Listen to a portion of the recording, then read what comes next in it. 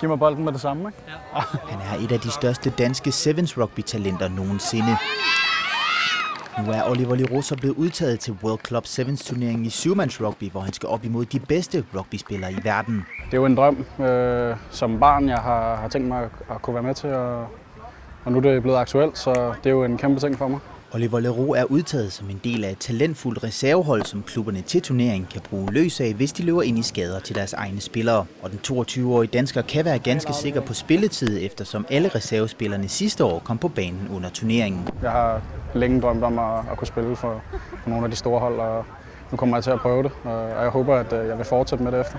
I Dansk Rugby Union er man naturligvis begejstret over Olivers flotte bedrift. Det er kæmpestort, øh, og han er op imod nogen, som, øh, som alle sammen kunne gøre sig gældende her. De kunne alle sammen komme ind på de store klubhold, og der har han så skilt sig ud ved at være både modig, men øh, ved ikke at fejle formodentlig. Oliver Leroux er halv sydafrikaner, da hans far er født og opvokset i landet.